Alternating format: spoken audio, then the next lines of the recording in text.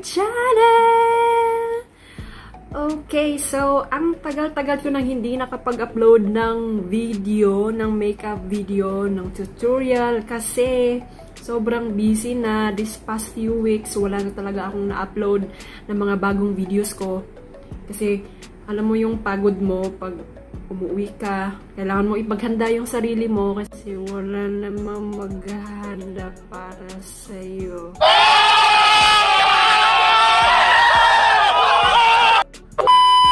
Kaya, pag galing ko ng school, pag uwi ko, prepare ako ng sarili ko, pagkain, tapos after nun, gusto ko nang magpahinga kasi iba talaga yung pagod lalo na sa pagta-travel ko na din kaya napagod na din ako. Parang nabigla kasi yung katawan ko. Mga siguro one month and a half or almost a month din akong nagtambay sa bahay. So, ngayon, gagawa ako ng bagong video. Pasensyahan nyo na yung iPods ko talaga kasi hmm, kitang-kita talaga. Ngayon, magre-review ako ng ito. I-review ko ito. This is from Watsons. This is Mix and Match Palette for eyes, lips, and face. So, kahit saan mo siya pwedeng gamitin. So, ngayon, gusto ko mag-try kasi may nakita akong mga ideas. So, ito try ko siyang gawin if magagawa ko through this one. So, hindi ko alam kung maganda ito. Pero feel ko naman maganda. Kasi matagal na ako naghahanap ng mga ganitong mga colored, colored ba, na mga like face paint kasi gusto ko gusto ko maraming gagawin ba. Kaso nga lang, parang nakita ko sa Lazada medyo ang lalayo ng mga pag-orderan. Pero natatakot ako. Baka kasi, ay, init-init. Kaya nag-order na lang ako dito sa Thailand lang naman to what's from Watsons. So, try na natin siya. Let's get started! So, ngayon, uh, maglalagay tayo ng facial mist. This is from Cute Press. Oo. Harap tayo sa electric fan para mag-dry siya. Lagay tayo ng foundation. This is from Maybelline.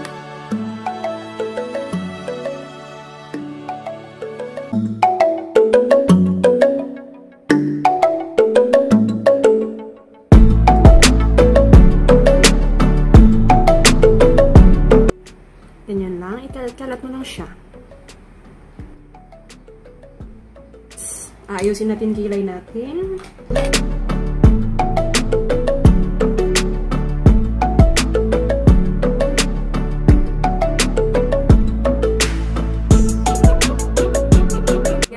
um, na-highlight ko na yung kilay ko kasi parang ang tagal-tagal ko na namang magagawa. Masyado kasing matrabaho yung pagkikilay kaya hindi ko muna siya kasi nakikita nyo naman lagi. Yan. Ito palang ginamit ko na concealer. This is from Nicara. Bili ko siya din. Ito, ito try ko ito kung maganda ba itong Nicara.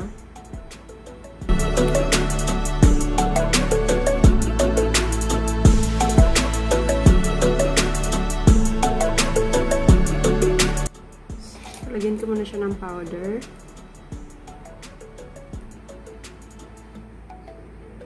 Gagamitin ko itong eyebrow pencil. Kasi magdodraw ako ng parang, yung dripping-dripping, di ba? Yung uso naman yan ngayon, lalo na sa yung pag-edit ngayon sa PixArt. So, from here,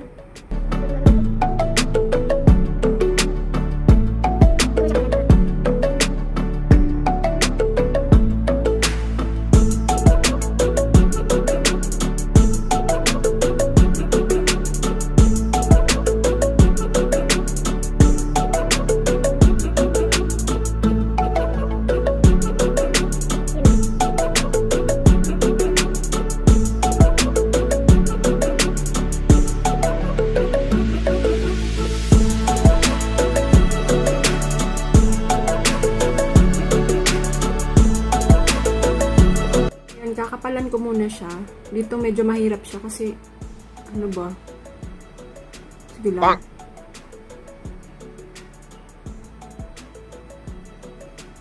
Ayan, tingnan mo.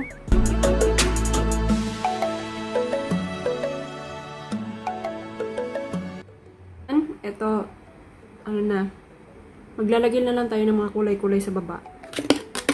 Tingnan natin kung, ay naku, tama tong ginagawa ko.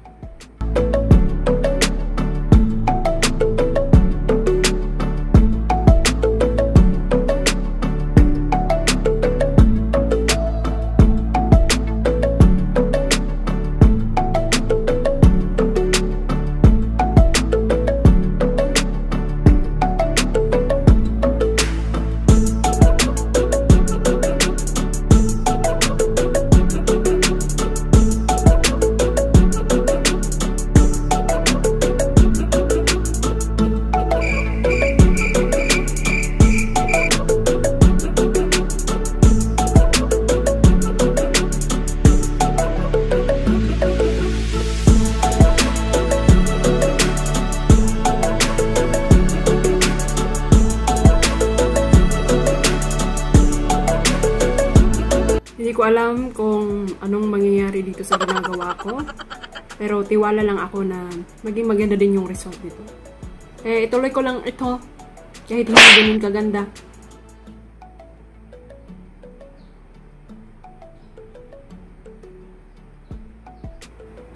Dito.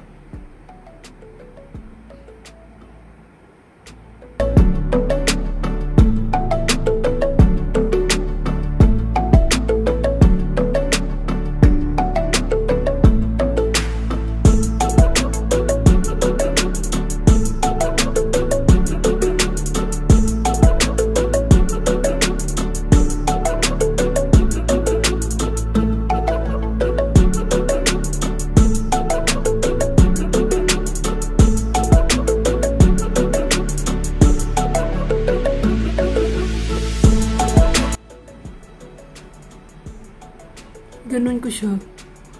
Kasi dumidikit. Basa kasi siya tapos medyo matagal siya nada-dry. Kaya igaganon ko muna yung mata ko.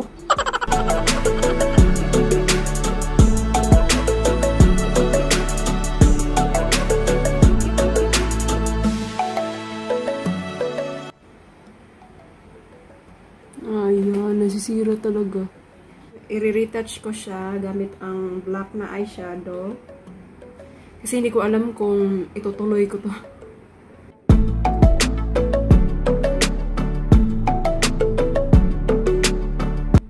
Tapos, ayan.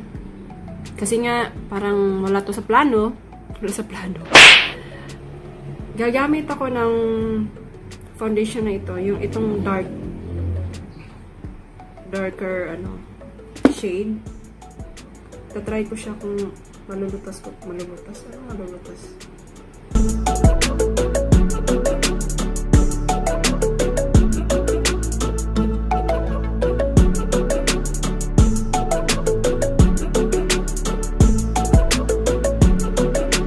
I-highlight ko siya. Gamit ng concealer, syempre. Tingnan natin kung malususoban natin itong pinagagawa ko.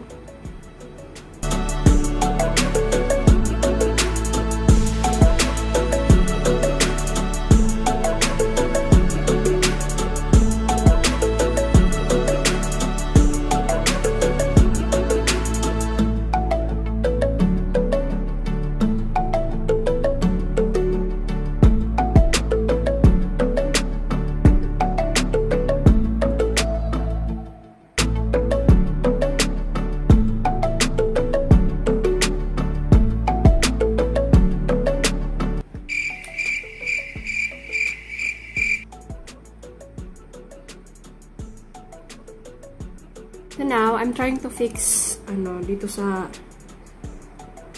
eyeshadow ko. Kasi parang sayang naman kung hindi ko to itutuloy.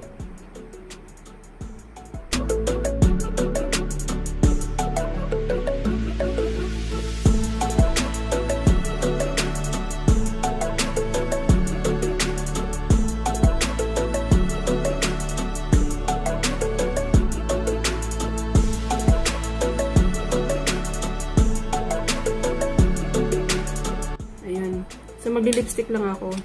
Itong dark.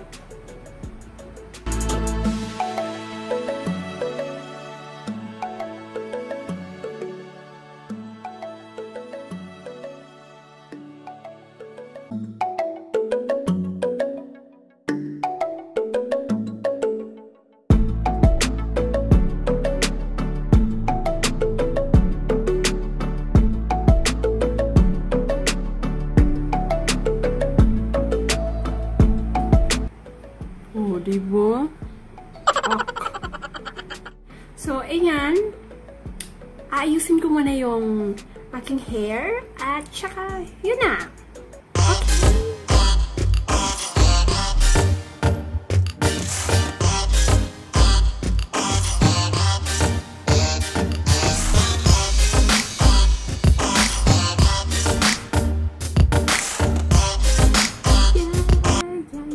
So, guys! Um, that's it. Feel ko parang wala namang kwenta. Walang kwenta kasi parang okay. Siguro yung uta ko bising-busy pa. Kaya ayun, medyo nahirapan ako. At nalilito ako sa ginagawa ko. Pero pinupush ko naman.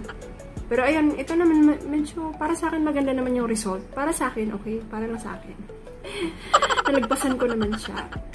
Mm. So, maganda naman yung palette na yun. Mm, oo. Maganda naman siya. Hindi na, hindi na siya ganun katingkad yung kulay niya. Pero, mm, okay naman. Para sa akin. Okay yung palette na ginamit ko for this. So, guys, if hindi ka pa nakasubscribe sa channel ko, pakisubscribe na din and please click the notification bell para updated kayo sa mga gagawin kong mga bagong videos at saka pakilike na din.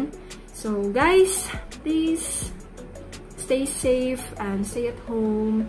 Laban lang tayo, matatapos din ito. Tiwala lang at we just have to pray every time kasi alam ko naman hindi tayo papabayaan ni Lord. So, bye-bye guys! See you again on my next vlog. Bye-bye!